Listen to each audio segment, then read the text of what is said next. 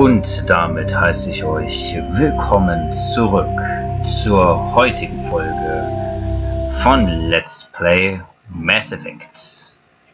Jetzt mache ich die übrigen Folgen, die drei, die bisher hochgeladen sind, sind ja bekannt die für gestern. Das heißt, jetzt kommt noch eine Folge Mass Effect, eine Folge Battle for Westnot, eine Folge der Herr Online und Lex Fazit. Ja, die Mass Effect Folge jetzt wird nur 19 Minuten, sehr kurz. Wir waren, haben beim letzten Mal das Exogenic Hauptquartier betreten. Wir haben für Garus ein, eine Getwaffe gefunden. Rex hat wieder die Gesundheitsregeneration in der Rüstung und wir haben von dem Torianer erfahren, einer Pflanze, die die Fähigkeit besitzt, Gedanken zu kontrollieren und Menschen zu versklaven. Exogeny wusste das und hat äh, Zeus Hope als, naja, Kontrollgruppe, wie sie es bezeichnet haben, benutzt, als zum Testpersonen. Und ja, äh, wir sind jetzt, wir haben jetzt einen kroganischen Commander getötet. Willkommen zurück, Forschungsassistentin Elizabeth Bainham. Was kann ich für Sie tun? Ich wollte nur kurz gucken, ob es hier noch was Neues gibt. Nein, haben wir schon alles okay. Das reicht im Moment. Schalten auf Standby-Modus. Ich wollte nur gucken. Okay, dann äh, gehen wir jetzt weiter. Wir kamen von hier, ne? Von der Treppe. Genau. Ach, wir haben gerade Lisbeth nochmal gehört. Wir kamen von unten. Wir könnten nach oben gehen. Ach nein, können wir nicht. Okay, dann Waffen ziehen. Und dann geht's hier weiter. So viele ähm, geht hatten wir beim letzten Part gar nicht, wie mir jetzt im Nachhinein aufgefallen ist. Jetzt geht's irgendwo hin? Nee, ist nur ein Feuer. Aber hier geht eine Treppe hoch. Wo sind wir denn gerade? Ah, wir kommen zum... Wir gehen gerade von der Müllgrube, die obere Ebene. Okay.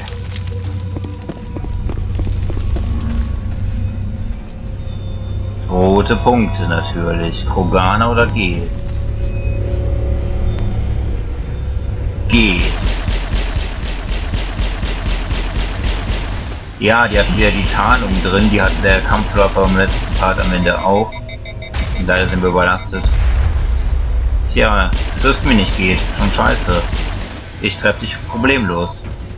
Wir wissen, dass wir das Schiff zerstören müssen. Da benutzen die Gate diese Klauen, um ihr Schiff an der Gebäudeseite zu verankern. Die Gate gehen bei ihren Landungen nicht gerade raffiniert vor. Wie stellen wir den Strom ab, wenn er vom Schiff kommt? Wir müssen ihm einen Stoß verpassen. Prüfen wir die anderen Greifer. Diese verdammten Dinger können doch nicht alle perfekt sein. Also wir müssen irgendeinen Greifer zerstören, damit das Schiff runterfällt, damit wir den Strom deaktivieren können, weil der Strom vom Schiff kommt.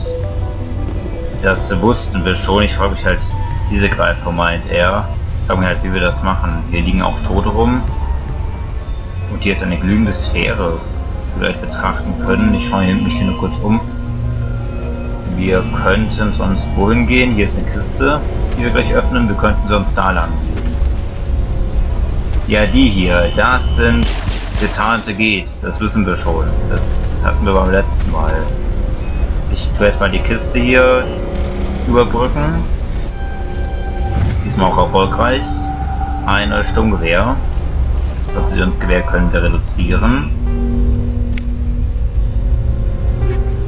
Und eine neue Exopanzerung. Gucken wir gleich mal. Garus, mein Freund. Na, der behält erstmal die Geht-Waffe. Und die Exopanzerung war welches nochmal? Das was davor Rex hat, aber ich behalte jetzt, hier haben wir bei beiden drei Effekte, obwohl wir könnten Garus drei Effekte geben. Das Problem bei Garus war halt, der ging beim letzten Mal zweimal in die Knie. Ja, ich gebe mal die, die Ex-Panzerung. Und beim anderen hat er den Puffer drin. Jetzt hat er keine Heilung. Und dann betrachten wir mal die Sphäre. Dieser Ort wirkt fast friedlich. Glauben Sie, die Geht haben diesen Raum als eine Art Tempel genutzt? Keine Ist Ahnung. auch egal. Ich bin nicht hier, um Ihre Bräuche zu lernen. Ja, Rex, da sagst du was. Ich habe keine Ahnung, wofür sie das genutzt haben.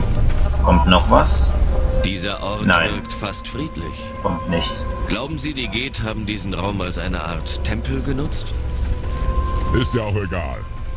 Ich bin nicht hier, um ihre Bräuche zu lernen. Ich dachte, da käme noch was. Ja, trotzdem interessant mit der Sphäre. Okay, wir gehen jetzt hier weiter. Hier fritzelt Ganz fein. Wir müssen auch immer noch die Daten suchen für den die eine Nebenquest. Halt, ein bisschen nach oben. Nein. Und mit der Elisabeth würde ich dann gerne mal über den Torianer sprechen, halt. Wir sind hier hinter der blauen äh, Schild.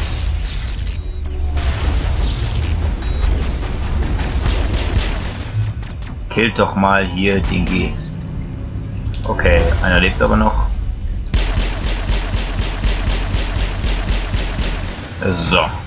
Wir sind hier hinter dem Schild. Wir waren beim letzten Mal da hinten vor. Okay, gut zu wissen. Gibt es hier keinen Schalter, mit dem man das deaktivieren kann? Nein. Aber wir hatten wieder was im Inventar, habe ich gesehen. Nach Tagebuch. Noch ein Impulsgewehr und Energieplatten. Garus, wie schaut's aus? Stärkeres Impulsgewehr? Nein. Das ist andere stärker. Was machen die Energieplatten? Nur Schadensschutz, das ist zu wenig. Okay, Tagebuch. Ja, das wussten wir schon. Die Klauen des Gateschiffes sind zu groß, um sie mit konventionellen Waffen ausschalten zu können. Finden Sie die Primärklaue des Gateschiffes und versuchen Sie, sie zu zerstören. Ja, äh, Rex hat gesagt, wir sollen denen einen Stoß geben. Äh, wahrscheinlich kinetisch. Äh, biotisch. Jetzt geht's hier weiter. Ich meine, wir sehen hier ein X. Das X könnte natürlich die Hauptklaue sein. Ich gucke jetzt auch noch mal auf die Zeit. Ja, wir haben noch ein bisschen Zeit. Ich gucke jetzt öfters auf die Zeit, weil ich würde es halt gerne einhalten. 19 Minuten sind halt nicht lang. Natürlich wieder rote Punkte. Na? Hier sind Kroganer. Das habe ich schon fast erwartet, ehrlich gesagt. Du kommst schon wieder viel zu nah, Bürschchen. Verzieh dich von mir. Minigel. Der eine Krogan hat uns schon wieder halbes Leben drauf gehabt. So, da ist ein zweiter gestorben, da lebt aber noch einer. Halte doch mal die Kroganer von mir weg. Danke. Das war das Impulsgewehr übrigens, glaube ich. Ey, die Kroganer im Ansturm sind die sehr gefährlich. Der hat uns gerade wieder fast erledigt. Wir sind nämlich beim letzten Mal einmal gestorben. Gegen den kroganischen Commander. Ich würde mir bei dem Part gerne einen Tod ersparen. Hier ist aber keine Klaue. Serverknoten. Gaben Hostels Konsole. Ach, hier können wir die Nebenquest abschließen. Das kann uns doch schon mal weiterhelfen. Erstmal der Spind.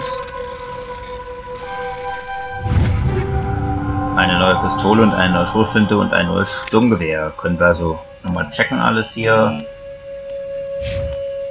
Die werden nur in Schüssen bis zum Limit besser, also nein. Schrotflinte, Rex. Nee. Und bei uns die Pistole. Nein. Okay. Ja, nehmen wir gleich mal die Konsole als erstes, würde ich sagen. Wo denn jetzt? Hier. Wir aus Konsole Daten herunterladen. Nach ein paar Minuten Download habe sie Gavin aus das Designdaten. Ja, er hat gesagt, das ist für Mods. Tagebuch, Ferros Datenrettung. Ein Techniker namens Gavin Hossel hat sie gebeten, einige Daten von seinem Computer im Exchange-Hauptquartier zu bergen. Wenn sie die Daten haben, sollten sie sie gerne zurückkehren und ihre Belohnung erhalten. Sie zurück im Flüchtlingslager und geben sie ihm die USD mit seinen Daten. Ich weiß nicht, wie sehr der mit den Exchange zu tun hatte, müssen wir auch mal fragen. Und hier ein Serverknoten. Ein Codex-Eintrag. Sekundär offensichtlich Technologie. Kommunikation, äh, Motologie. Die stetig wachsende galaktische Bevölkerung und die Kolonisierung neuer Welten erforderte eine Überarbeitung der Kommunikationstechnologien von der insbesondere die Bewohner ferner Welten profitieren sollten. Um für mehr Bandbreite und effizientere Kommunikation zu sorgen, wurde ein Netzwerk von Datenspeichern und VI-Suchprogrammen entwickelt, also virtuelle Intelligenz. Alle Eingaben an das Netzwerk werden zunächst an den nächsten Datenspeicher der Kolonie oder des Sternsystems übermittelt. Das VI-Suchprogramm Suchprogramm durchforstet dann den riesigen Datenberg dieses Speichers auf der Suche nach den gewünschten Informationen. Wenn die Informationen nicht lokal verfügbar sind, wird die Anfrage zunächst an die Nachbarsysteme und dann an das erweiterte Netzwerk geschickt. Die VE-Suchprogramme in diesen Systemen übernehmen dann Anfrage. Wenn die gesuchte Information gefunden wurde, wird sie in einer Express-Datei komprimiert und für die Rücksendung vorbereitet. Jede Express-Datei erhält eine Prioritätennummer auf Grundlage der Anfragen nach den erhaltenen Informationen. Je mehr Anfragen, desto höher die Prioritätennummer. Wenn ein neues Solarsystem an das Netzwerk angeschlossen wird, werden die am häufigsten angefragten Daten lokal zusammengefasst. Die Hardware der Speichersystemen ist zwar vergleichsweise günstig, aber dennoch ist es faktisch nicht praktikabel, alle täglichen Daten von Milliarden Bewohnern hunderter Welten zu archivieren. Es werden keine Daten über Tribalitäten aufbewahrt, nur damit sie jederzeit zur Verfügung stehen. Wenn im Laufe der Zeit mehr und mehr erfolgreiche Suchanfragen innerhalb einer sich entwickelten Kolonie anfallen, werden die Ergebnisse gefiltert und in lokalen Archiven angelegt. Damit steigt auch die Wahrscheinlichkeit, dass die Ergebnisse auf sehr spezifische Suchanfragen bereits vorhanden sind und schnell übermittelt werden können. Also das äh, Google der Zukunft quasi, natürlich ein bisschen komplizierter wegen den ganzen Systemen, aber an sich macht das alles durchaus Sinn, finde ich. Okay. Wir haben noch 8 Minuten. Wo geht's denn jetzt weiter? Standort Shuttlebucht-Tor. Wir sind jetzt auf der oberen Ebene. Ach nein, wir sind hier. Hier ist die Hauptebene. Aber wir kommen dann wahrscheinlich da raus.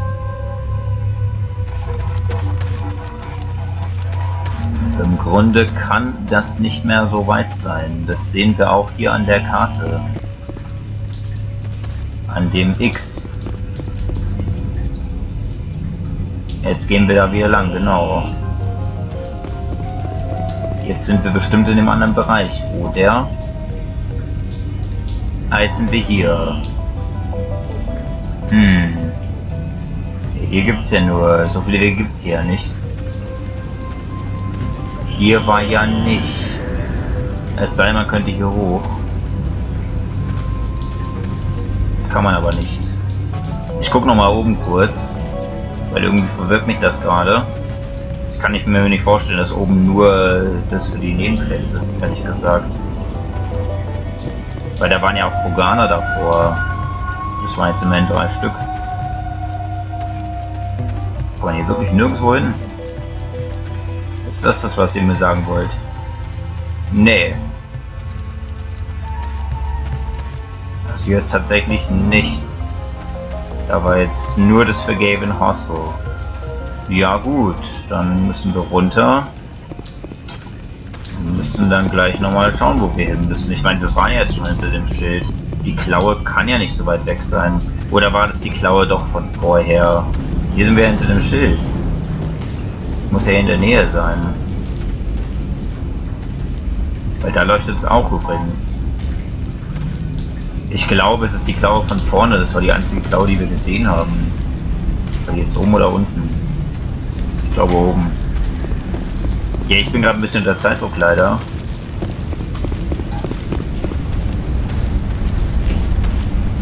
Okay, hier waren wir anscheinend nicht. Hier ist eine gesicherte Kiste. Schön, dass wir das gefunden haben. Hier waren wir scheinbar nicht. Nein, ich wollte in die andere Richtung. Aber wir haben es geschafft. Eine, zwei neue Schriften. Rex, mein Freund. Eine ist hier Präzision und äh, Schlüsselbesitzlimit besser. Die nimmst du doch. Okay, da wir hier nicht waren, gucke ich mich jetzt hier ein bisschen um. Aha, hier sind geht. Ihr lernt auch nicht dazu, wa?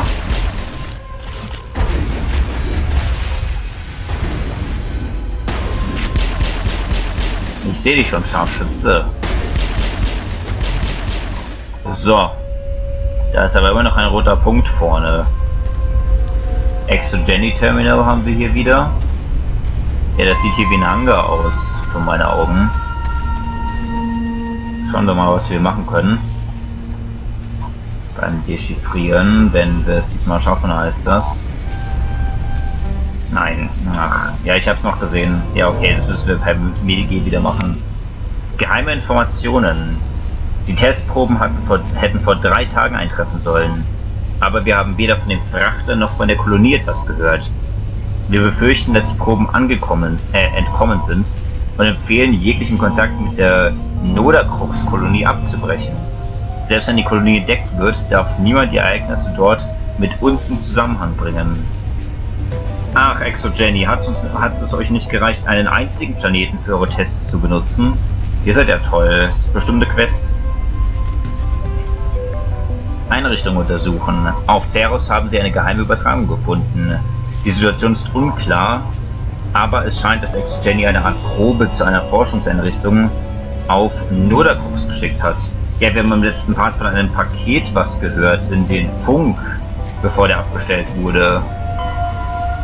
Nodacrux befindet sich im äh, Vostok-System des Maron Z-Clusters, also wird dann neu sein.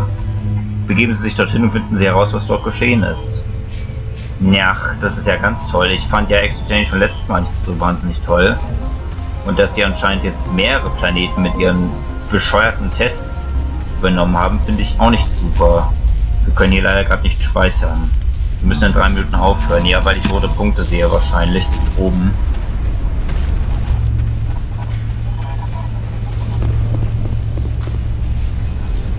Der Greifer ist genauso wie der letzte. Wir müssen weiter. Der ist also auch zu fest wahrscheinlich.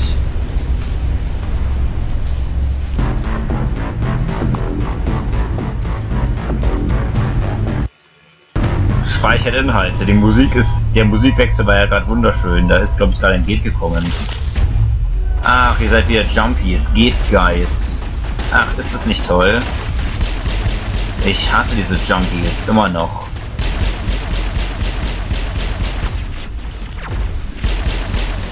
Da ist, glaube ich, einer gekillt worden gerade. Ja, wir müssen nach unten. Hier oben haben wir kaum Sicht. Einmal Medigel. Das uns gerade halb getötet. Nein, nein, nein. Ich sterbe jetzt hier nicht. Kannst du knicken. Mein... Leute, lasst mich durch.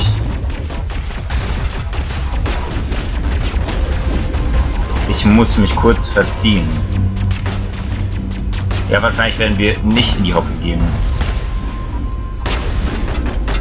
Ein Medigel. Ihr trefft von hier nichts, Jungs. Ziemlich harte Geldbewachung hier. Ich tue mich schon wieder schwer mit Zielen. Level up. Aber wir haben schon wieder keine Schilde mehr. Wo er ziemlich aggressiv hier geht. Jetzt dafür einen Grund. So, du bist auch tot. Ich glaube, das war der Sieht letzte. irgendwie aus wie eine Quarantänestation. Kein Arsenal von Waffen. Aber wenn wir nur einen Greifer abreißen, ist das Schiff weg. Ja, wir können hier eine Türsteuerung aktivieren. Aber erstmal gucke ich mich hier um. Gesicherte Kiste, der Kampf hier war jetzt ziemlich heftig. Oder müssen wir jetzt aufhören? Ja, wir müssen jetzt aufhören. Beim nächsten Mal sehe ich mich um. Aber ich gehe jetzt hier vor die gesicherte Kiste und dann speichere ich. Wir werden beim nächsten Mal auch hier schauen wegen Ausrüstung und Squad, weil ich will jetzt nicht überziehen. Vielen Dank fürs Zuschauen. Ich hoffe, es hat euch gefallen. War jetzt natürlich nicht viel, aber immerhin, wir haben eine Nebenquest abgeschlossen, wir haben eine andere Nebenquest bekommen, Geht und Krogana getötet und äh, neues Level up. Wären jetzt fast gestorben. Das war ziemlich knapp, weil es erst Garus und Rex nicht durchgelassen haben. Aber gut, ich glaube, wir sind gleich dabei, das Schiff zu demontieren den Greifer zu entfernen, damit es dann zerstört wird.